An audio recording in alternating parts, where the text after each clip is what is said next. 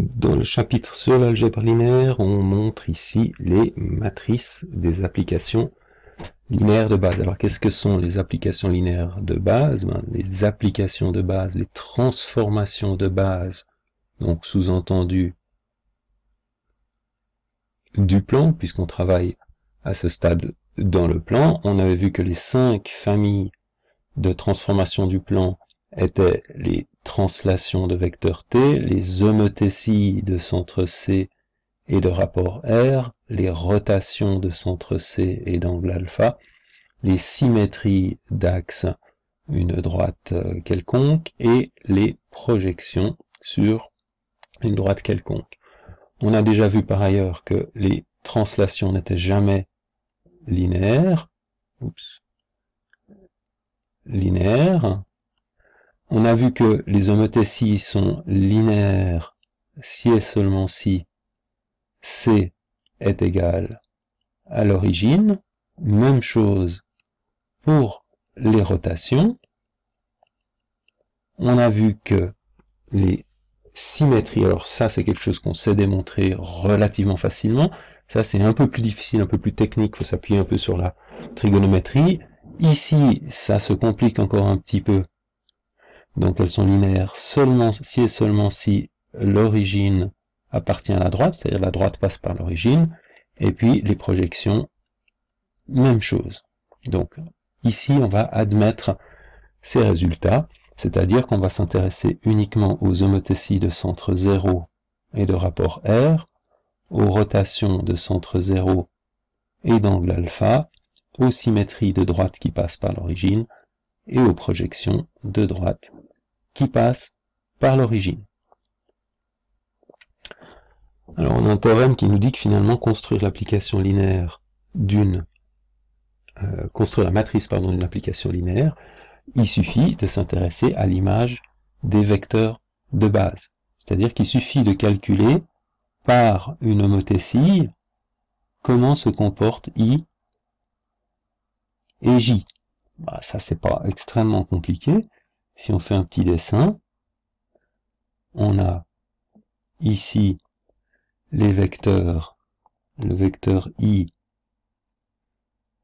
et le vecteur j, et on a vu par ailleurs que finalement une homothétie ne fait rien d'autre que de multiplier le vecteur par un certain rapport d'homothétie à partir du moment où le centre est égal à 0. ça a été démontré ça. Donc l'homothétie multiplie par r, donc c'est-à-dire que l'image de i c'est r fois le vecteur 1, 0, c'est-à-dire le vecteur R0, et R de J, c'est R fois le vecteur 0, 1, c'est-à-dire le vecteur 0R. ce qui revient à dire ici que l'homothétie va simplement amplifier ici le vecteur i comme étant ri et le vecteur j comme étant rj. Et donc, bien sûr, la matrice de l'homothétie de centre 0 et de rapport R sera tout simplement R0, 0, R. On a donc réglé la question des homothéties. On passe maintenant aux rotations. On faire un peu de place ici. Donc si je m'intéresse maintenant aux rotations, bah, il suffit, enfin il suffit entre guillemets, de nouveau, de regarder ce qui se passe pour la rotation d'angle alpha par rapport à l'image de i, l'image de i et l'image du vecteur j. Alors pour ceci, on peut se rappeler que on a passé pas mal d'énergie à démontrer la forme générale d'une rotation de centre 0 et d'angle θ, il s'appelait θ à l'époque, et on est arrivé à la forme générale suivante. L'image d'un vecteur de composante xy est donnée par x cos d'alpha moins y sin d'alpha, x sin d'alpha plus y cos d'alpha, donc une rotation d'angle alpha. Alors, ceci, soit on l'accepte, soit on fait référence à une autre vidéo qui démontre ça en détail. Donc du coup, ça devient relativement facile. Euh, donc ça, c'est pas facile, hein, à voir la vidéo qui fait le détail si vous pensez que c'est quelque chose que vous devez maîtriser. Donc R de I, ben c'est R de 1, 0. Ça donne quoi? Ça donne simplement 1 fois cos d'alpha, c'est-à-dire cos d'alpha, moins 0 fois sin d'alpha 0. 1 fois sin d'alpha moins 0 fois donc cos d'alpha sin d'alpha. R de J, c'est R de 0, 1. Donc chaque fois qu'il y a du X, ça fait 0. Il reste simplement le Y qui vaut 1. Donc j'ai moins sin d'alpha et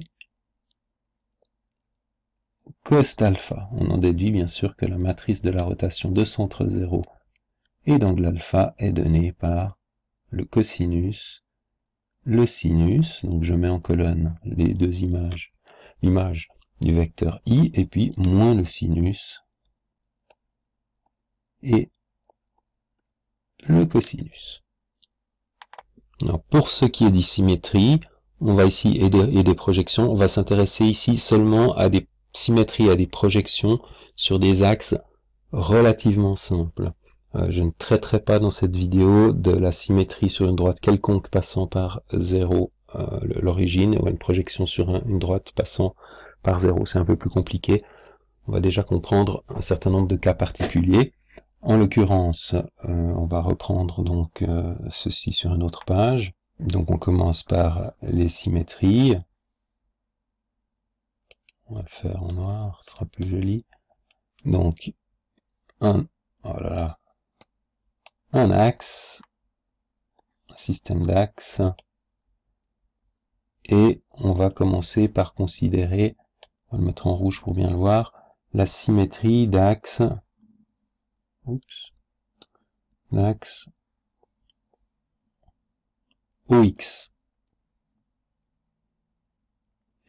Alors c'est toujours le même principe, hein. il suffit de regarder comment se comporte le vecteur i, qui est, le vecteur i qui est un petit vecteur ici, hmm.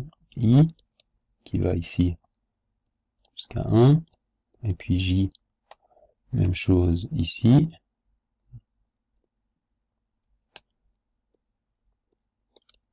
jusqu'en bas.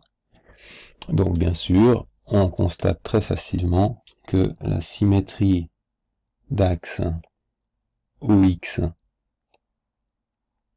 va envoyer I, bah, symétriquement il est sur l'axe, donc I il reste sur I, c'est-à-dire l'image de I c'est I c'est un 0, et l'image de J, bah, J lui il va être envoyé en face ici, hein. c'est-à-dire que SOX de J va être égal à moins J. Donc moins J, c'est-à-dire 0, moins 1.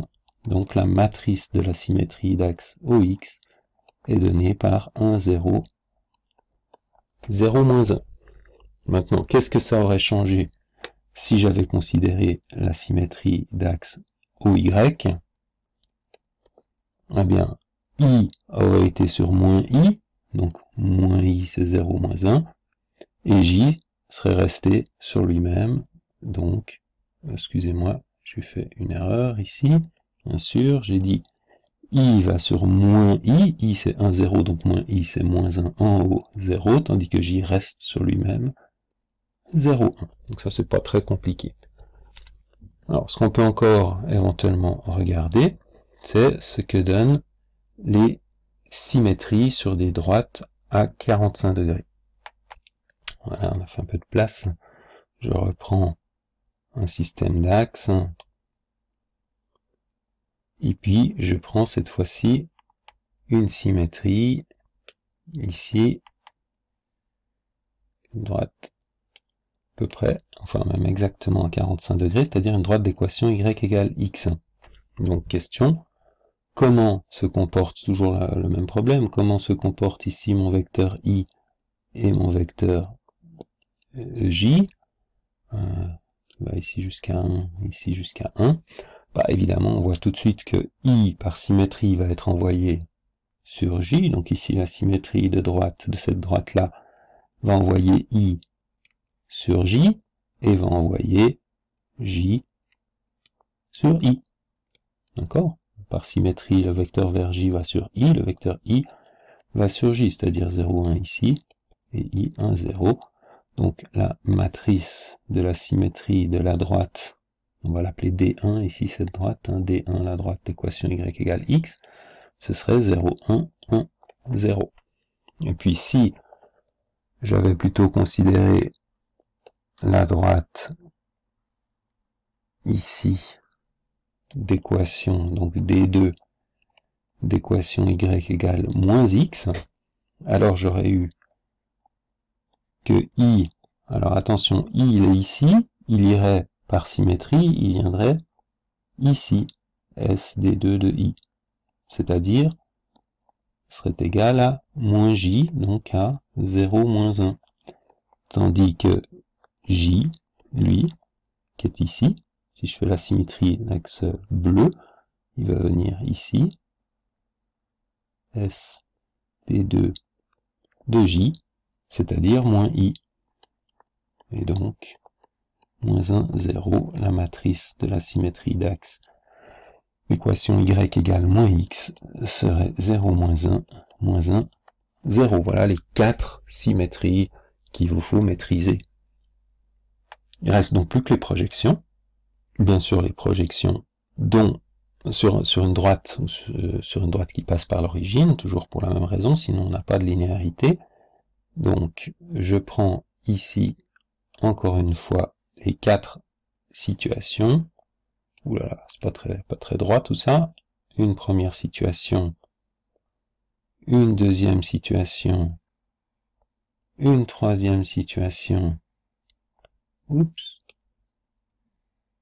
et une quatrième situation, je vais projeter exactement comme pour la symétrie sur les quatre droites dans lesquelles il y a pas mal de symétrie.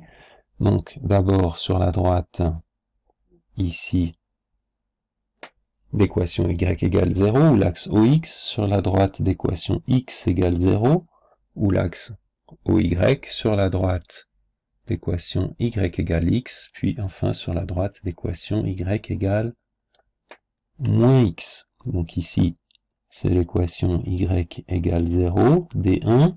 Ici, c'est d2 d'équation x égale 0.